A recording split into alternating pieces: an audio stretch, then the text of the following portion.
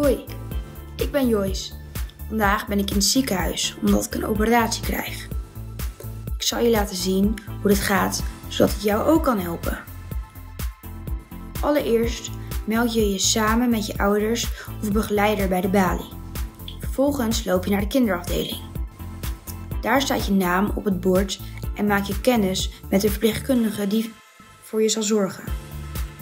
De verpleegkundige brengt je naar de kamer. Meestal heb je eigen kamer met sanitair. Eerst stelt de verpleegkundige je een aantal vragen. De meeste kan je zelf beantwoorden.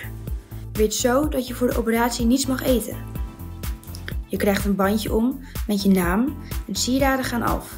Je bloeddruk wordt bekeken en temperatuur gemeten. Daarna ook nog even wegen en meten. Je krijgt een paracetamol, zodat je je na de operatie beter voelt. Ook krijg je als je dit wilt zalf op je handen voor het infuus. De huid wordt plaatselijk hierdoor verdoofd, waardoor je minder voelt van het infuus. Dan is het nog even wachten tot je aan de beurt bent. In de tussentijd wat kletsen, op je mobiel zitten of televisie kijken en de tijd is zo voorbij. De verpleegkundige komt vertellen dat je aan de beurt bent. Je krijgt een operatiejasje aan. Met bed en al rij je over de gang naar de operatiekamer, ook wel OK genoemd. We rijden door naar de sluis. Mijn moeder krijgt een pak aan en we krijgen allebei een muts op. Dit pak moet iedereen aan bij de OK, zodat de ruimte extra schoon blijft.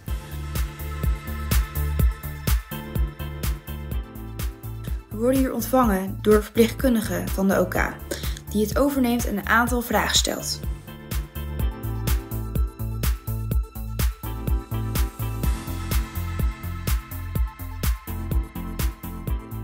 De operatiekamer is een grote ruimte. Er staan een aantal mensen die er allemaal zijn om jou te helpen.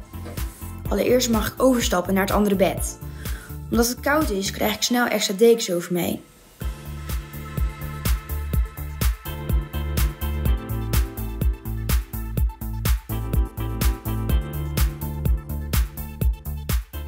Ik krijg monitorplakkers op mijn buik en borst, zodat mijn hartslag en ademhaling zichtbaar is op de monitor. Ook krijg ik een saturatiemeter op mijn vinger voor de zuurstof. Zo kan de dokter in de gaten houden hoe het met mij gaat tijdens de operatie. Een van de mensen in de OK is de anesthesist, ook wel de slaapdokter genoemd. Hij zorgt ervoor dat je een infuus krijgt, waardoor hij je een slaapmiddel kan geven.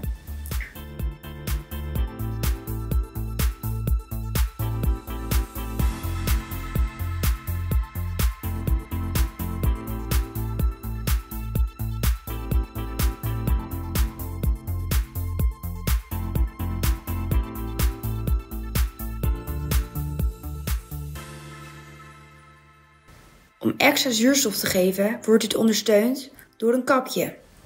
Je kan rustig inademen en weer uitademen. Je valt dan in een speciale slaap. Dit is de narcose.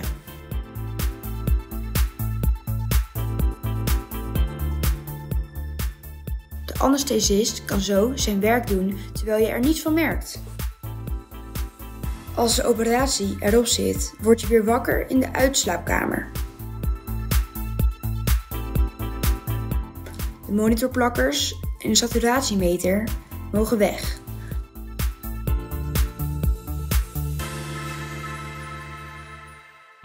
De verpleegkundige van de afdeling komt ons weer ophalen.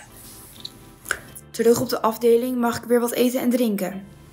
Via het infuus wat ik gekregen heb, kan ik medicijnen of vocht krijgen als dat nodig is. En mag eruit als het goed met mij gaat.